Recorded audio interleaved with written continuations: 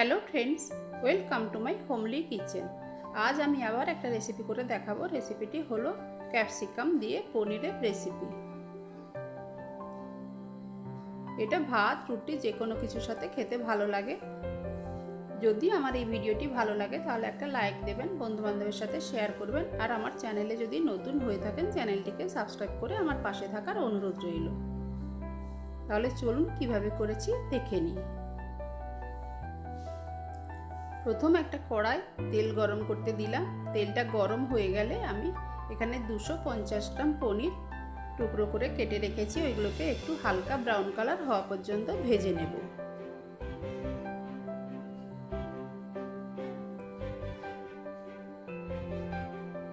বেশি ব্রাউন করব না। অল্প একটু কালার চেঞ্জ হলে আমি পনিরগুলোকে একটা প্লেটে তুলে রেখে দেবো।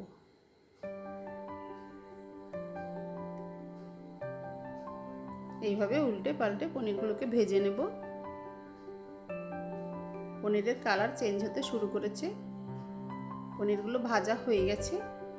এবার আমি এটাকে একটা প্লেটে তুলে রেখে দিচ্ছি।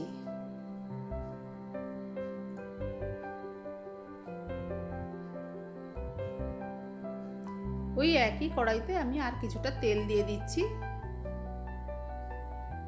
তেলটা গরম হয়ে গেলে দিয়ে দেব গোটা জিরে ফোড়ন ওয়ান ফোর টিস্পুন মতো গোটা জিরে ফোড়ন দিয়ে দিলাম। জিরেটা একটু ভাজা ভাজা হয়ে গেলে এতে দিয়ে দেব দুটো মিডিয়াম সাইজের পেঁয়াজ স্লাইস করে কেটে রেখেছি, ওইটা দিয়ে দিলাম। এবার এটাকে হালকা ব্রাউন কালার হওয়া পর্যন্ত ভাজবো, অর্থাৎ পেঁয়াজের একটু কালার চেঞ্জ হওয়া পর্যন্ত ভেজে নেব।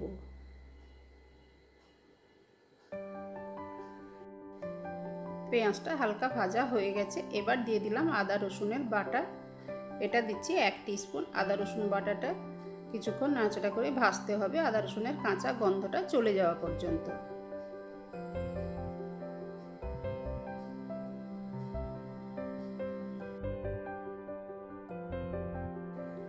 আদা রসুনও ভাজা হয়ে গেছে। এবার আমি দিয়ে দিচ্ছি এক কাপ স্লাইস করে কেটে রাখা ক্যাপসিকাম আর হাফ কাপ স্লাইস করে কেটে রাখা টমেটো। এটাকে এক মিনিট মতো সতে করে নেব।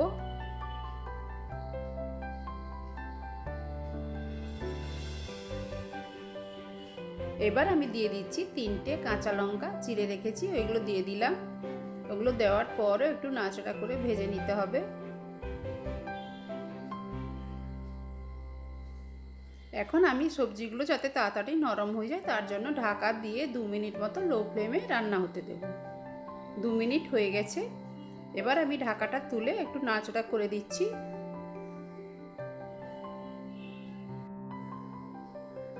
সবজিগুলো একটু নরম হয়ে গেছে। এবার দিয়ে দিচ্ছি হলুদ গুঁড়ো, লঙ্কার গুঁড়ো আর ধনে গুঁড়ো। হলুদ গুঁড়ো দিয়েছি ওয়ান ফোর টিস্পুন লঙ্কার গুঁড়ো দিয়েছি হাফ টিস্পুন ধনে গুঁড়ো দিয়েছি এক টিস্পুন আর দিয়ে দিয়েছি স্বাদ মতো নুন। এবার এগুলোকে দিয়ে আমি আবারও দু মিনিট মতো একটু কষিয়ে নেব।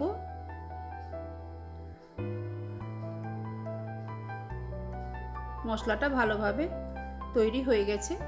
এখন আমি দিয়ে দিচ্ছি ভেজে রাখা পনির। পনিরটা দেওয়ার পর এই সবজির সঙ্গে ভালোভাবে নাড়াচাড়া করে মিশিয়ে নিতে হবে।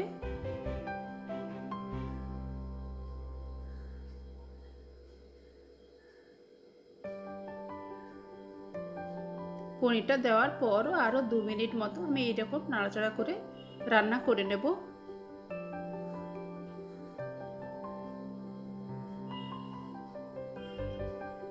পনিরটাও ভালোভাবে সবজির সঙ্গে মিশে গেছে। এবার দিয়ে দিচ্ছি হাফ টিস্পুন গরম মশলার গুঁড়ো। গরম মশলার গুঁড়োটা দেওয়ার পর একটু নেড়ে মিশিয়ে দিতে হবে।